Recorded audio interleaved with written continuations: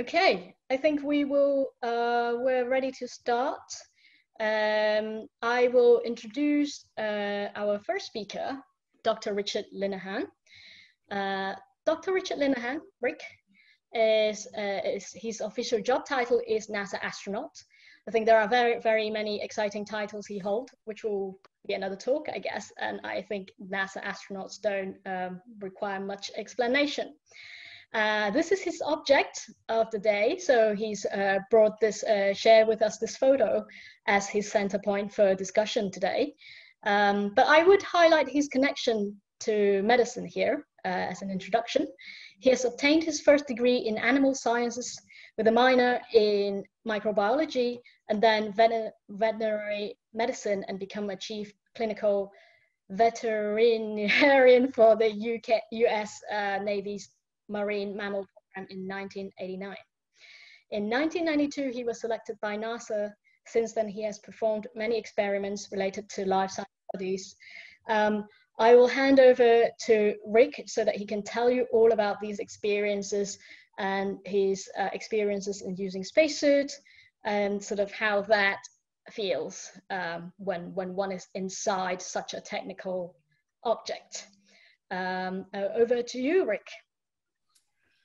Good morning, everyone. Uh, this is uh, Rick, live from Houston, about a six-hour time delay for everybody in, uh, in London. Um, I wanted to talk this morning a bit about spacesuits, uh, the history, my history, my personal history, and what it's like to do an EVA. All right, so since this, uh, since this conference, online WebEx, uh, whatever we'll call it, is, is about uh, doing spacewalks or EVAs, um, as an astronaut, I've given talks over the years. I've been at NASA since 1992 and uh, I always get the question about what it's like to be in a spacesuit and do a spacewalk. Is it is it fun? Yeah, it's fun.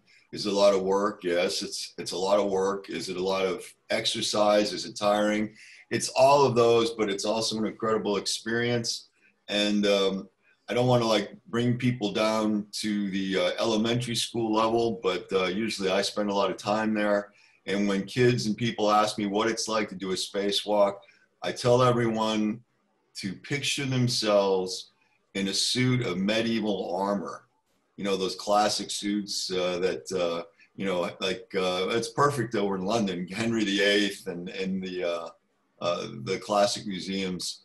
Uh, but imagine you're in a suit of medieval armor and you're on roller skates and you've got a giant fishbowl over your head and you're wearing boxing gloves and you have a pair of lobster. Sorry, that's my dog in the background. I'm sorry, we'll, we'll get her. She goes a little nuts when she sees uh, squirrels out the window, so we'll have to get her quieted down.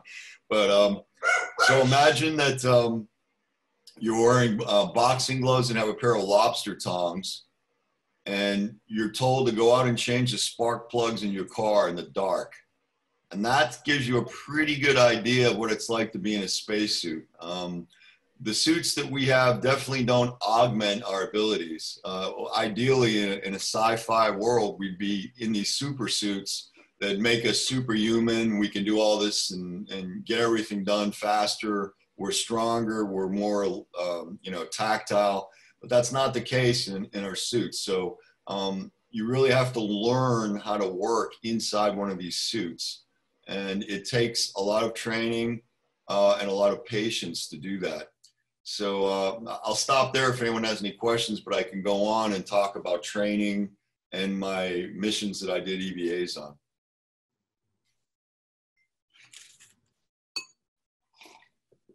Okay, I'll keep going. Um, so the history, and we have a gentleman this morning from ILC who is a spacesuit guru. He'll talk more about that after me, who knows the ins and outs of the workings of the systems, the engineering, uh, the effort put in to make these spacesuits. But historically, uh, for the US, um, the first spacesuits for astronauts were made for the, uh, for the uh, Mercury program. And then we followed that on uh, with, it, with the Gemini program. uh, into Apollo, and Gemini was one of the first space, the first space walks, so to speak, where we left the capsule. And then the Apollo suits, the classic Apollo suits or moon suits, were actually built uh, with boots that were made for rocky, uh, rocky landscapes. So uh, you know, obviously, they could walk on the moon, which is different from doing a so-called spacewalk, right? I mean, we call uh, the moonwalk versus a spacewalk, working in a, in a somewhat uh, less than Earth G environment to a zero G environment in space. So the suits are a bit different. Uh, the zero G suit that's uh, been around uh, since before the shuttle program actually is kind of a hybrid evolution of all the suits that came before it from the Apollo suit on. And we use that on the space shuttle and it's made to work uh, in a zero G environment, i.e., we're floating in space. Uh, so we have boots, but the boots aren't made for walking, uh, as says that old Nancy Sinatra song goes. They're made for floating, and uh, the suit itself probably weighs in around 300 pounds or so, and uh, it's something that you would not want to try to move in uh, on the Earth or in a 1G environment uh, because uh, you literally would fall over, land on your back, and you'd be like a turtle. Pretty, pretty unlikely to be able to right yourself or even stand up because of the weight and the balance of the suit. Um, how do you get used to how do you sort of work in this environment uh, when you cannot really walk around on earth what were the sort of tips and tricks mm-hmm you used to understand how that technological object, the spacesuit, uh, could help you to work in the operating environment, which is the real space environment?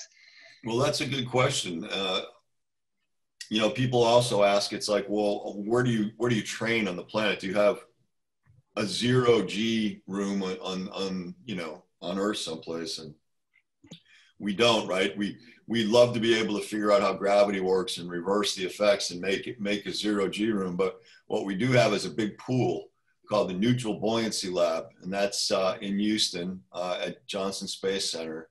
And we train in that underwater uh, in a neutrally buoyant environment. So we'll take suits just like we do, uh, we wear in space, downgraded suits that can be immersed in water.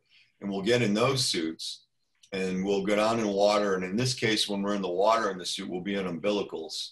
Uh, so we'll have air, water, cooling, comm, all that stuff supplied through umbilicals to us where we work underwater. And we'll perform the same EVAs that we're planning on doing in space underwater. And we'll practice and practice and practice. And for instance, um, my first EVAs were on the Hubble Space Telescope. Uh, and as a good rule of thumb, back then when we trained, we spent about 12 hours underwater in our suits for every hour we spent in space doing the real EVAs. So we train, train, train, sometimes uh, four times a week uh, in the suits underwater in the neutral buoyancy lab. And it's a lot of work. So um, it's like going to the gym and lifting weights uh, too much for four or five days in a row. You can be really tired, really sore.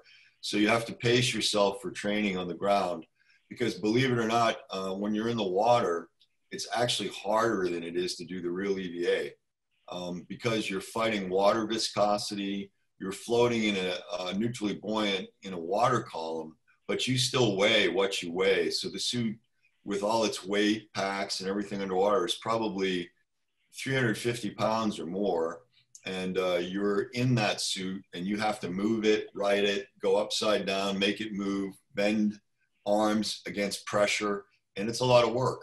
Uh, so for that reason, we also train in the gym we try to stay as fit and as strong as possible.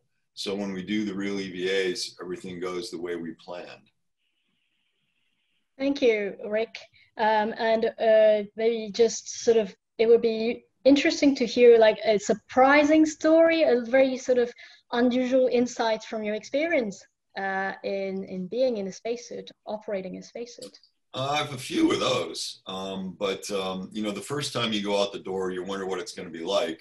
And uh, you know it's like the the classic pinch myself you know i'm here but you can't pinch yourself in a spacesuit. So you're just kind of floating around in awe and really when you're in a spacesuit you're in your own little spaceship right because you're separated from the shuttle Uh, and the only thing that holds you there are the tethers, your tethers. And, you know, for the mountain climbers and rock climbers out there, you'll understand this better than most. But uh, whenever you climb uh, or do a spacewalk, you're always tethered everywhere you go. So you'll be placing tethers like on a rock face or climbing wall wherever you move.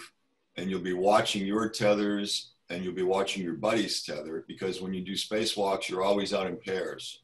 Uh, never go out by yourself because if something happens and you need help, you have your buddy to rely on. So you're always kind of like uh, you're the wingman and they're the, your wingman, but you're always watching the other person, their tether, and vice versa to make sure when you move around, uh, if it's Hubble or the space station or the shuttle, uh, that you don't entangle yourselves mm-hmm. and that you stay safe. Uh, now, a story that I, I have many stories. Um, I'll, I'll give you one story which uh, was a surprising story, which kind of opened my eyes. Um, you know, when you're out in the suit, uh, you just, you know, you're there, you're doing your job, and you tend to start thinking, well, this is, you know, this is not not a bad thing. It's I'm safe. I'm I'm fine. Everything's working. As long as the suit goes the way it needs to and everything runs, everything's going to be fine. Well, on one of my uh, EVAs to the space station, uh, at the last, maybe within the last hour, they asked me to go get a specific piece of hardware, which is stored up high on the space station uh, between the Russian and US segments on a big thing called a mast, which sticks straight out uh, up zenith on the station. And you literally have to climb up it. It's a stanchion.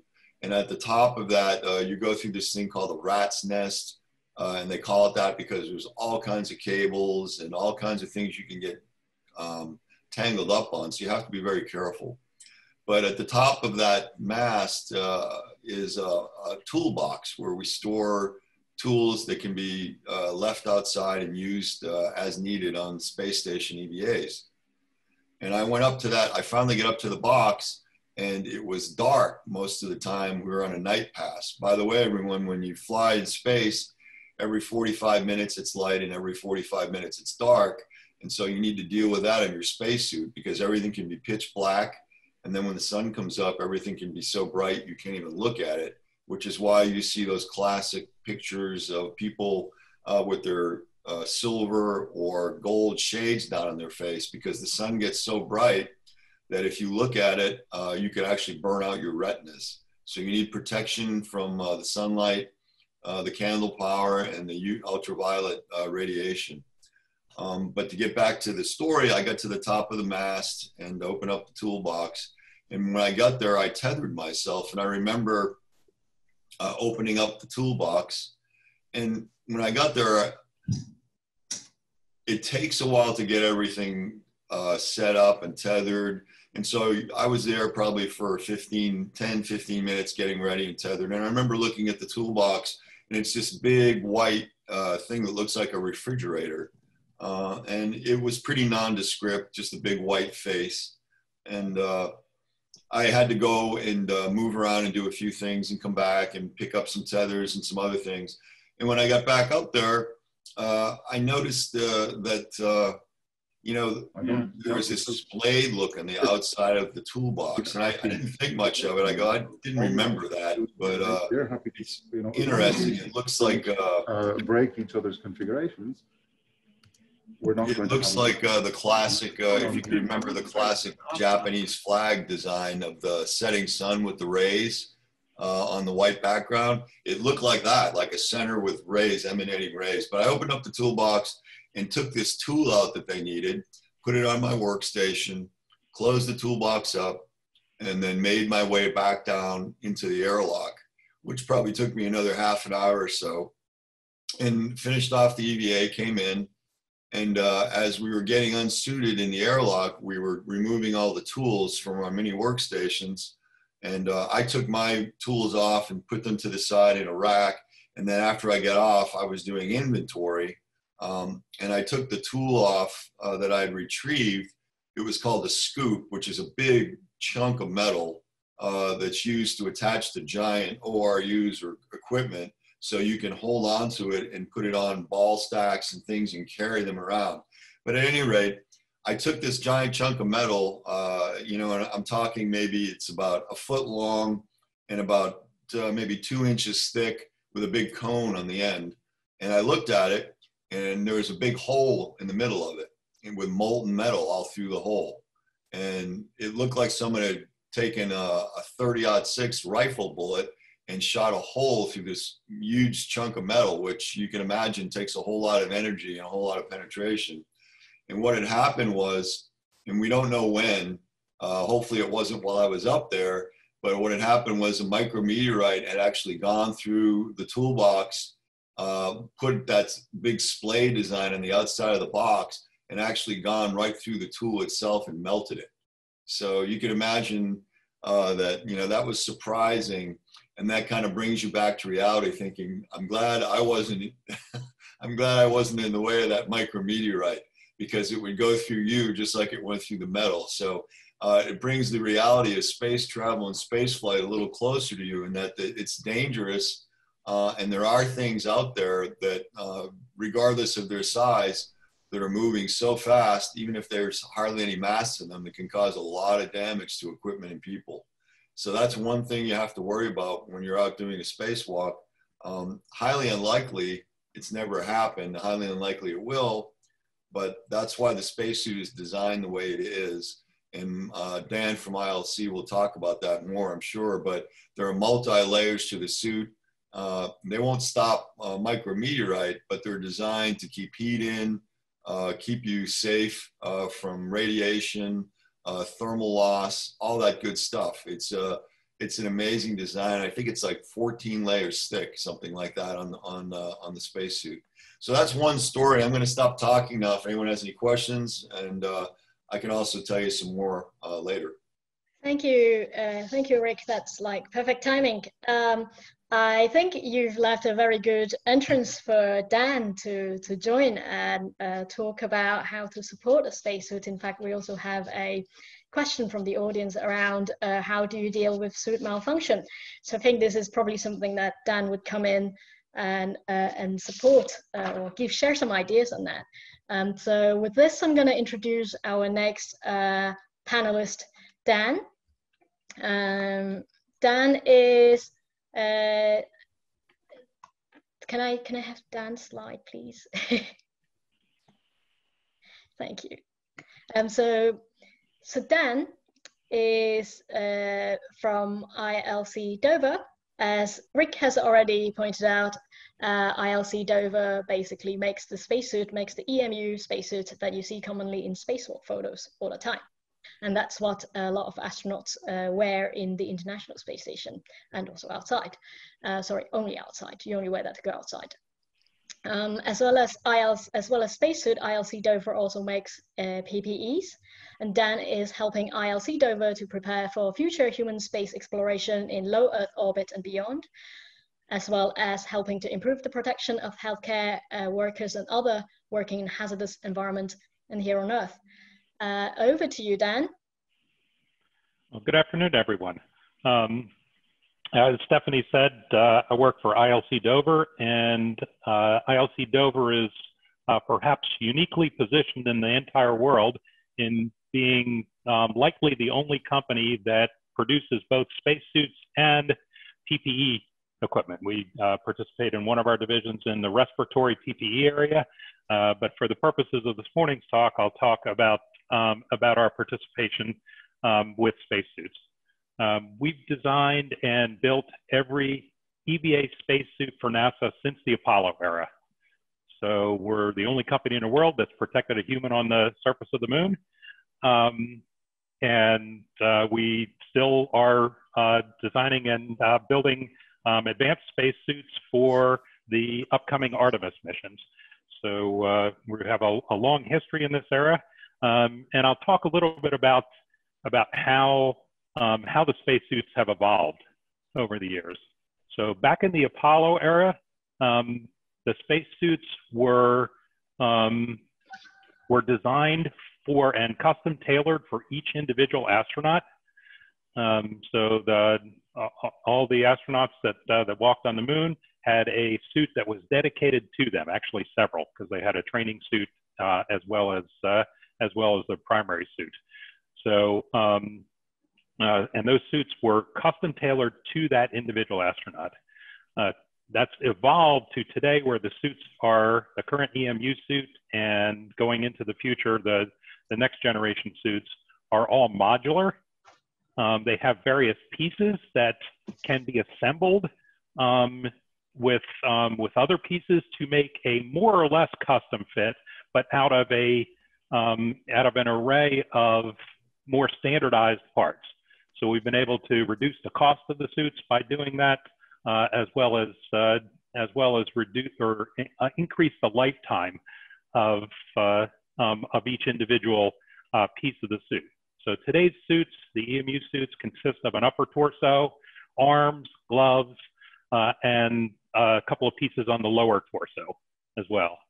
And as Rick alluded to, um, today's suits um, are not what we call walk around suits. So they're not meant for one sixth or uh, hopefully someday one third um, G. They're uh, where you'll be walking on the, the surface of the moon or, uh, or Mars. Um, today's suits are designed for what we call spacewalks, but they're really space floats is a, is a better way of describing it. So they don't need much mobility in the lower torso. Uh, they don't need hard boots because you're not walking on any kind of rocky surface. You're just uh, floating um, in orbit. And, uh, and so, um, so it, it's possible for us to, uh, to make suits that uh, can be reconfigured for different astronauts. And so they go through a certain life cycle where, um, where for a specific astronaut coming through the program, we'll configure the suit out of our various pieces. Um, and the most customized piece, by the way, are the gloves. Uh, we currently have uh, last time I looked, 63 different sizes of gloves. Um, if an astronaut is coming through the program and starting their training and they try on those uh, those gloves and can't find one that will be a, a, perfect fit, we'll make we'll make a new size of glove. But because of the dexterity required, and as Rick alluded to, they're a bit like boxing gloves. I mean, they're um, they have many many layers to them to protect against all the the the, um, the things that you see in space. Um, so they're they're very thick, and they need to be by their very um, very nature of the um, of their purpose. Um, they also need to provide some degree of dexterity, and so they're um, they tend to be uh, the, the, or they are the most difficult part of the suit to uh, to design and manufacture.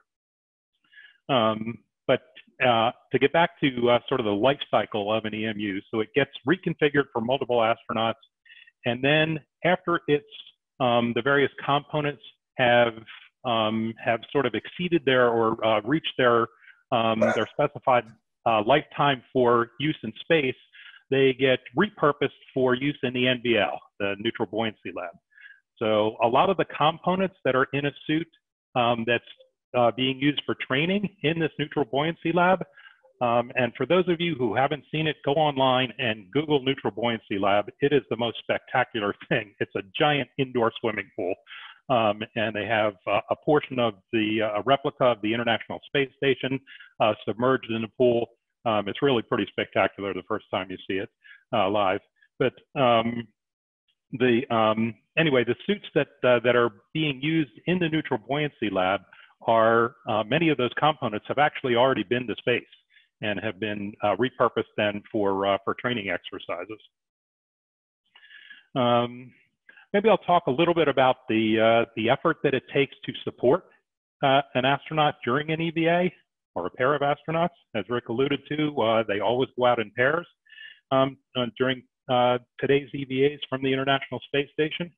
Um, one of the things that, that is surprising to many people is that uh, um, that two of our engineers at ILC Dover are, are on a continuous open phone line with mission control at the Johnson Space Center during every EVA. And there are, and that, that goes from um, donning the suit and the pre-breathe all the way through coming back through the airlock and starting to uh, doff the suit. Um, so um, uh, our engineers typically spend about 12 continuous hours on the phone. And again, we have two of them, one per astronaut, um, that are dedicated during that 12 hour period um, which, as, as I said, includes the donning of the suit, the pre-breathe period, and then going out through the airlock, doing the spacewalk, which typically their um, astronauts are outside for about uh, six to eight hours is a typical spacewalk today. Um, and then coming back through the airlock and um, and starting to uh, take the suit off uh, or doffing the suit, as uh, as we say. Um, and so that uh, there's a lot of support that goes on behind that's uh, behind the scenes that not many people are aware of. So that's kind of a, an interesting little tidbit of of how the support goes. Um, Rick talked about micrometeoroids and one of them penetrating his toolbox. Um, well, the, periodically the space station itself takes micrometeoroid uh, impacts and those gold colored handles that are on the outside that they use to traverse, um, to move themselves around to get to the, uh, the area that, uh, um, that's in need of repair or where, where their mission is on that particular spacewalk. Um, those can take micrometeoroid impacts and it forms like, if you look under a uh, magnifying glass, it forms like a little sharp-edged crater um, on those handles. And one of the things that we routinely do is have the astronauts do um, routine periodic glove checks because they're using their gloves to traverse and those micrometeoroid impacts can leave really sharp edges. And we put a lot of uh, anti-abrasion um, type materials on the palms of the, the, the, uh, the gloves, but still we were worried about, uh, about um, a, a small tear in those. Um, so we have the, the astronauts routinely do a glove check where they hold their gloves up uh, in front of their helmet cams so we can take a good look at the palm of the glove um, sort of one at a time because they're typically holding on with one of their hands and then they have one of their hands in front of their helmet cam so we can see the palm of the glove. And we do that about once an hour during a, uh, during a typical EVA. So another little thing that uh, um, that's kind of a, a, behind the scenes little tidbit about uh, what goes on during uh, um, um, during EVAs. I mean, the Hollywood version of this, uh, um, since I've become immersed in uh, in spacesuits and spacesuit technology, um, and I see Rick smiling there, um, the Hollywood version is far, far away from the reality of of what it takes to keep somebody safe in in space. Thank you, Dan. Yeah. Thank you. Um, that's perfect. Um, and so I think we will um, now uh, bring Julia in and hear her perspective. And then we'll have a discussion all together, picking up on a lot of the questions. I think I see questions are coming in already. Um, keep them coming. Uh, we will we will pick them up uh, later on. And so Julia, Julia Duncan has been in the industry of providing clean air solutions for just shy of eight years she's quite an entrepreneurial spirit, actually. Um, I asked her how she got into being a technical sales for Clean Air Solutions. And she told me when she was waitressing, she got asked if she'd sell clean air, and yes, she said, and here she is. Um, so uh, Julia has been brought in because the clean air solution is really focused on the environment and PPE when you're donning and doffing them, there's a whole process around it. And I guess Julia is gonna tell us a little bit more about this whole process and how to keep a, a, the a operating environment clean as well as just uh, the suit clean. So um, I will hand it over to Julia now. I think, uh, yeah, over to, over to you, Julia. Thank you, Steph. I'm uh, just going to share my screen so we can get a, a better understanding um, of some images regarding uh, the clean air solution. So if you can uh, just uh, let me know if the screen has been shared. Uh, not yet. Oh, here we are. I think it's, uh, it's just come up now. Said you've started sharing the screen. Okay, so is it up? Yeah, it's up.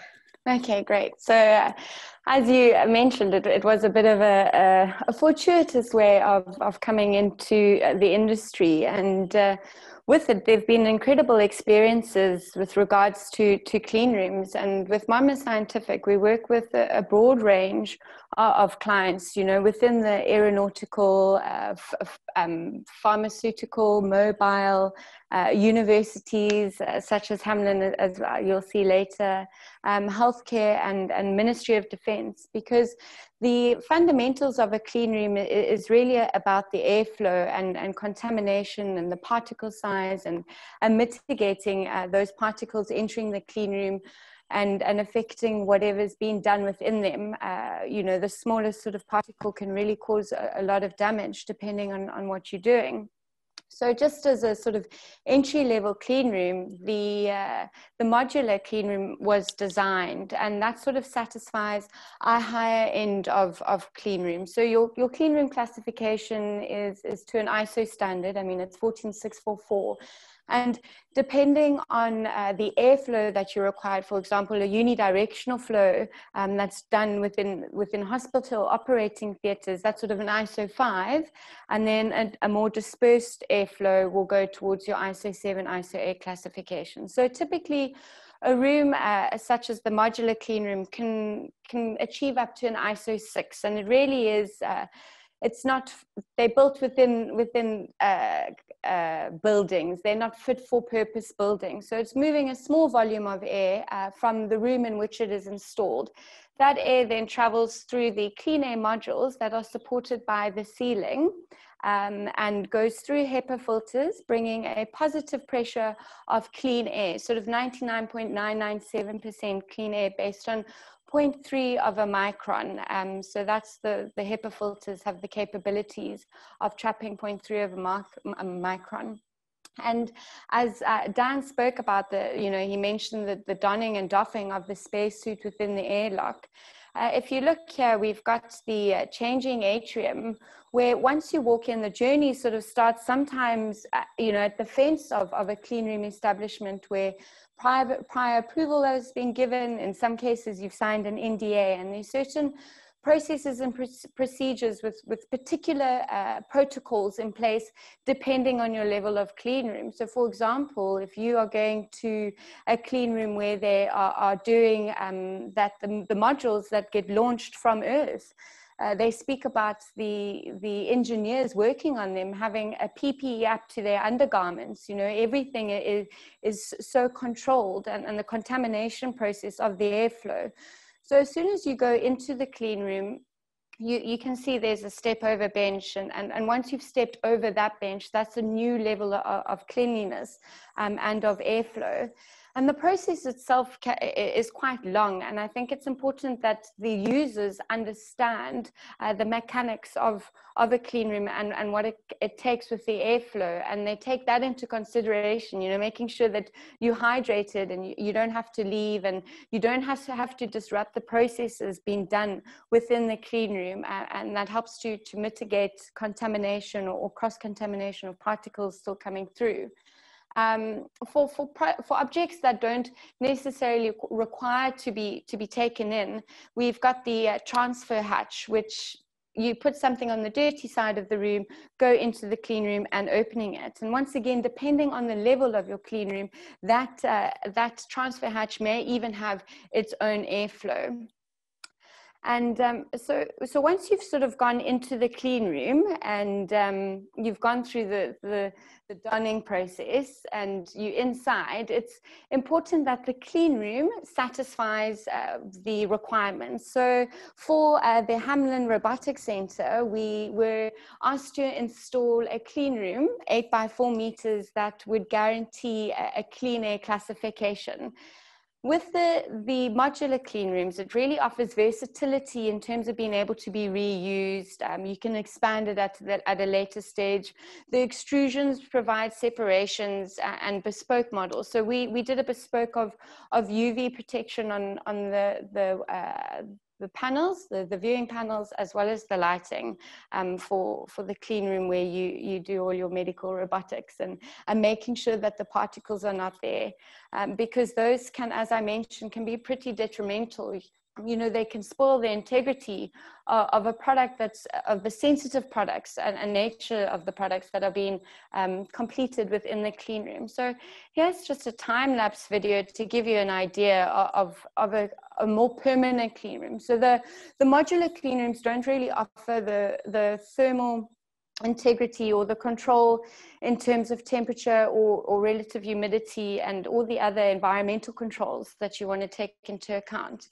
And um, depending on the volume of air that's required, you know, for example, if you're building uh, uh, satellites, you, you need a, a, huge space and that requires a huge volume of, of air to get the air changes and, and huge filters. So in that case, you wouldn't really be uh, installing the ducting on the ceiling. It would be more in a, in a separate room.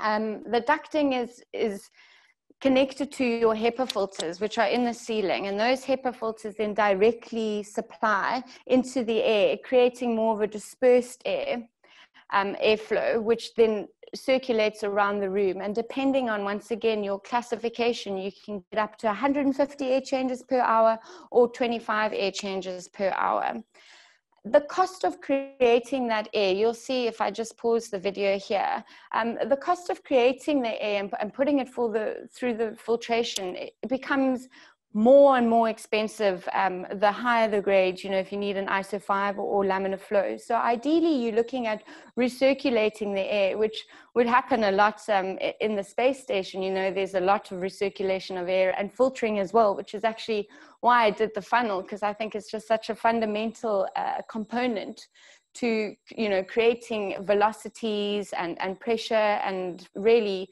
um, it's it's guaranteed to be used in whatever sort of engineering mechanics you're looking at, at, at, creating.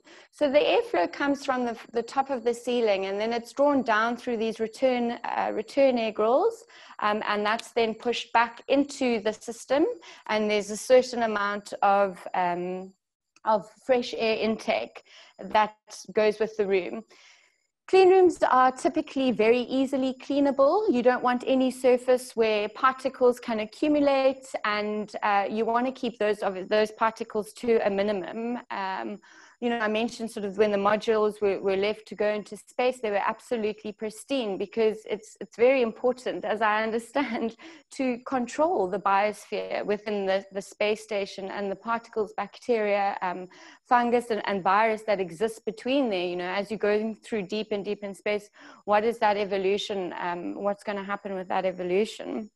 Um, so PPE is, is also manufactured within a clean room. I mean, I know ILC Dover have one of the biggest clean rooms um, in the UK, and um, they they would then. Oh, sorry about that. Let's go to the next slide. They would also have you know large spaces, um, easily cleaned, a certain protocol going into the clean room to make sure that there are no sort of contaminations it's not necessarily the case for everyone. You know, a, a, company in Turkey who's manufacturing PPE have all their necessary extraction, which you would need because a lot of dust particles are, are um, generated from, from, you know, creating manufacturing masks. And then they've also got the supply to keep the balance going. However, if you're going to be manufacturing in the UK, you need to, to manufacture under a clean environment um, where you don't have, you know, you're free from surfaces, uh, uh, horizontal surfaces where you can get uh, fungus accumulating.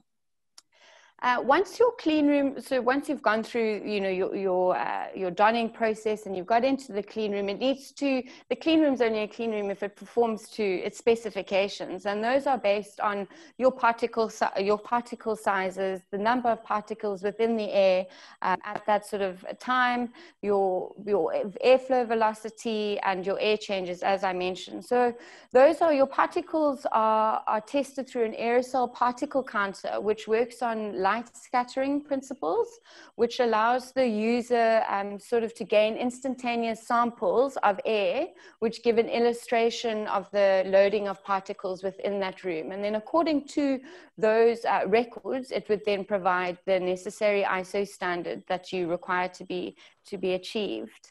Um, not only do you get sort of the ISO 7s uh, environment and that's it. So if you're going into a more sort of sophisticated facility like the pharma giants and you're working to, to GMP, uh, you've got to have grade D, grade C, and as you go sort of deeper into the clean room, you, you get a higher grade. And those can be achieved using cabinets as well. So here we've got the biological safety cabinets, which offers user protection as well as operator, um, forgive me, operator protection as well as product protection. So you get the air barrier down the front of the cabinet, and that's an ISO 5 environment because it's a unidirectional flow over the work surface. Then we've also got the laminar flow cabinet, which focuses more on the product protection. It creates up to an ISO 4 um, clean air environment that just either flows horizontally down or vertically across um, the work surface. And uh, I, yeah, you're welcome. Yeah, and then just once you've left the clean room, you've got to go into the doffing process, um, where which is also under strict protocol, uh, depending on where you are uh, within the lab and what lab you're doing. You know, what taking off one layer of gloves, washing, and and that's the clean room really just helps the airflow with contamination. Brilliant. Thank you very much, Julia. I think the um, the clean room discussion is really interesting in that um, I wonder if that very same standard applies in the spacesuit. Do you have standards in the spacesuit for um, for airflow and, and the like, or like how do you kind of control that biosphere? Um, yeah, and the operating environment of, of the spacesuit, how do you control that? Was that, is that question for me? I guess. Yeah, or like um, if, if, Rick can yeah. chip in as well. um, so the um, the air that's uh, that's circulated inside of a uh, an EVA spacesuit um, is uh, predominantly uh, oxygen. So it's uh, it's not like the uh, the air that we breathe here on Earth, or the air they breathe on the inside of the International Space Station when they're um, in the in the space station. Um, that that air is is a nitrogen oxygen mix.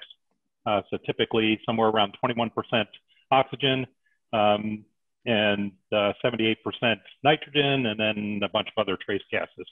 Um, so that's what we breathe here on Earth. What they breathe inside the spacesuit is it starts as pure oxygen, but of course, as you're exhaling, um, every breath you exhale has a lot of carbon dioxide and water vapor in it. So the inside of the suit ends up being a mix of um, high concentration of oxygen with, uh, uh, with then lower concentrations of uh, carbon dioxide and water vapor. Um, so that it's, uh, um, it's sort of uh, uh, the way you would think of it maybe is, is bottled purified air. So, um, so before it ever gets to the International Space Station, um, going up on a rocket, it's, it's purified here on Earth. that air that then gets put into the, the life support um, system uh, that's in the backpack on the uh, on the back of the EMU, um, and uh, that's um, actually a little little tidbit about that. That's uh, um, I alluded to earlier. This uh, this term pre-breathe. Um, one of the reasons that they have to do that, or the main reason they have to do that, is they have to purge the oxygen or the nitrogen from their blood, and so that takes several hours of breathing pure oxygen to get the nitrogen out of your blood because the, the pressure inside the uh, inside the spacesuits is much reduced versus the pressure that they see inside the International Space Station or that we'd see here at sea level on Earth. Um, and it's the same effect that can uh, uh, can cause um, what deep sea divers would call the bend. It's that same effect where the nitrogen um, in that reduced pressure starts um, starts um, uh, uh, coming out of your blood in bubbles and can cause uh, big medical problems. Um, so that's why they have to do that pre-breathe thing is, uh, is to get the nitrogen, purge the nitrogen out of their blood um, so they can breathe this uh, more highly concentrated oxygen environment, but at a much reduced pressure. So I could go into the physics of partial pressures and all that stuff, but that's probably beyond the uh, the scope of this talk. probably we can bring Rick in is a very good uh, point to bring Rick in on um, sort of the experience of breathing these kind of purified air and the experience of, of going through the spacesuit. There's a lot of questions around uh, your experience in spacesuit, how does certain things feel, how does glove feels, how does thermal regulation feel, uh, how does it smell? Um, maybe here we can talk about also sort of how how does breathing this kind of air feel, how does breathing air feels in, in space different, how, do, how, how does it differ from, from Earth? Okay, well, um, breathing at a much reduced uh, pressure, as Dan just talked about, uh, it's noticeable at first. Okay, let me let me backtrack too. He talked about the International Space Station uh, being an STP, standard temperature pressure, um, which is kind of like you know what it would be at sea level here for us, or, or, close, similar. Um, on some old shuttle missions, we used to decrease the pressure before an EVA down to 10.2. So we'd actually decrease the pressure in the cabin for the whole crew. And then we bleed out, so to speak, help with some of the getting rid of some of the nitrogen, um, bringing the pressure down. And then uh, the people who are going to do the spacewalk will get in their suits and do another deep press. Uh, on the International Space Station, uh, what we do is, well, there are several different methods. There, there was an exercise method where we would actually have intense exercise for a while that would help drive the nitrogen out of our system. And then we also had something called a camp out where the EVA crew would get into the space, uh, the airlock, the crew lock, and actually decrease pressure overnight uh, and purge nitrogen that way uh, and also, you know, uh, with increasing oxygen concentrations until we got it in the suit. But ultimately, when you're on the space station, you're going from an STP, you know, standard temperature pressure, down to about 4.3 relative in the suit. So there's a there's a big difference in pressure there. Um, and one of the best ways, uh, you know, uh, to to really realize that you're down that lower pressure is trying to whistle in the suit or when you talk or make uh, strange noises, you sound really tinny. Uh, your voice changes, timbre. Uh, you know, when you're doing comm, uh, you can listen to people on comm in the suits and they don't sound like they used to, that they sounded like inside in a normal pressure environment.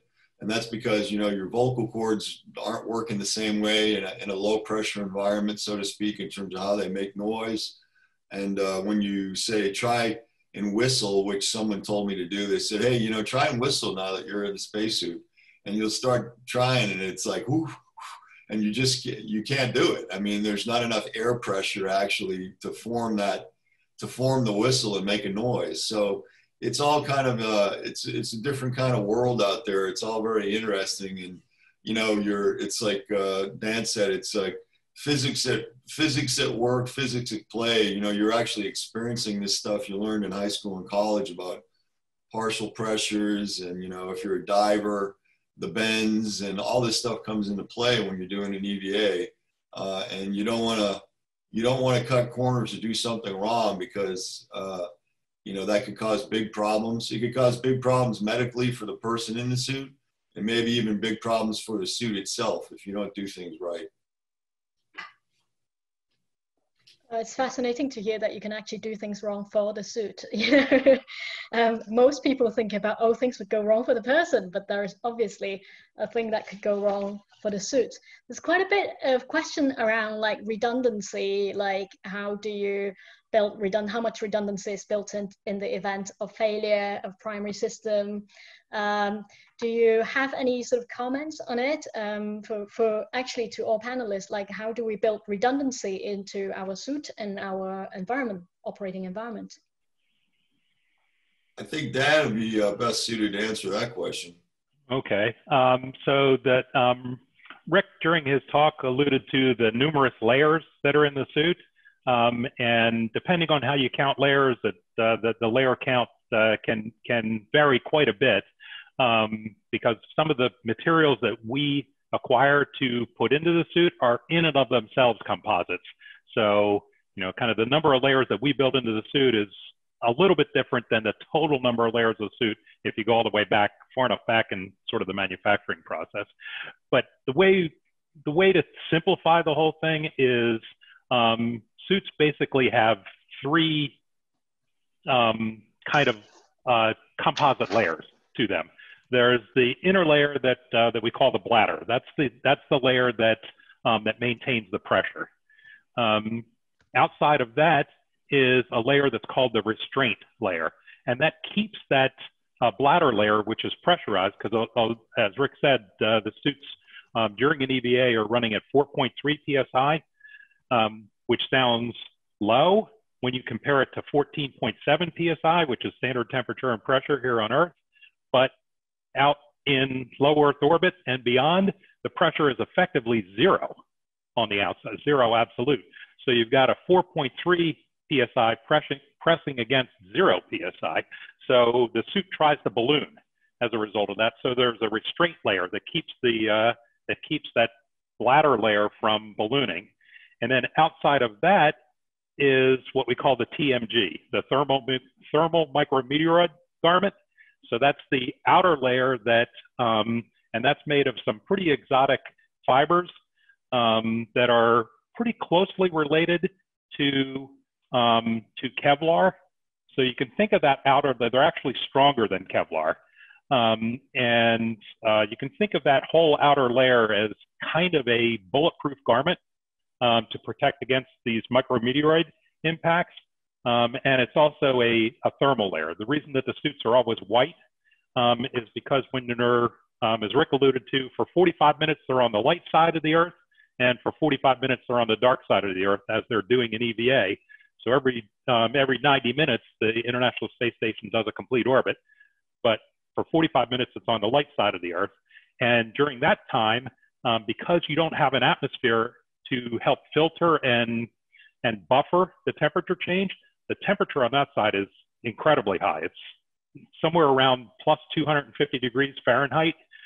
Um, and so um, so that's the temperature that here on Earth, that uh, standard temperature and pressure would uh, would more than boil water. Um, so um, that white layer um, is a reflective layer that tries to reflect as much of that uh, um, that radiation as possible. So that's kind of the the, the short answer. Um, the uh, maybe a little more in-depth answer to that specific question is that um, the, the suits actually do leak slightly. Um, everything leaks, um, which is a hard concept for some people to, uh, to grasp. But uh, there's sufficient um, pressure in the, um, in the air that's in the, uh, in the oxygen that's in the, the life support backpack that, um, that it can overcome those slight leaks. So even if it were, even if there were to be a small puncture in those, uh, there's sufficient air pressure and, uh, and redundancy in that system to give the astronaut time to get back through um, the airlock and back to safety inside the International Space Station. Thank you, Dan. Yep. Um, and Julia, do you have anything to add with redundancy in clean room situations? I think there is that a certain degree of built-in redundancy, but it's because of the functionality of the clean room and that filters do get blinded. You know, your HEPA filters are there to create the environment and trap all the the particles that are going through, but once that becomes saturated or blinded, as they call, uh, that filter then needs to be disposed of, and depending on what's going in and out of the room, um, would then sort of dictate uh, of how that is to be expo- uh, disposed. So in that regard, uh, there is that that redundancy uh, that has to, you know, you have to replace it and, and you can't reuse it and, and all of those types of things. So that's where I would say it comes into play with the clean rooms. Thank you. Um, thank you. We're, we're three minutes uh, towards the end, towards the close. Uh, thank you very much for, for joining us today. Um, I think there are still loads of questions that is unanswered. I think some of them will answer next time because a lot of them on uh, the sort of layers and the kind of protection, redundancy, that probably will pop up again next time in the next session, which is the protective clothing session, Layer Up, which is on the 17th of September. Um, and join us on the 17th of September. I think Nikita is going to post a link in chat uh, so that you can continue to ask those questions. Your question today is not lost. We will actually take them in and review some of them and maybe feed them forward into our next discussions. Uh, for example, also someone asked about VR. Uh, we will put that into our last session, which is about adaptive clothing. Um, so do join us on that one as well. Um, and then I think there is some more comments around uh, Dava and Dava Newman and SpaceX's slim suit, something we should uh, comment on at some point.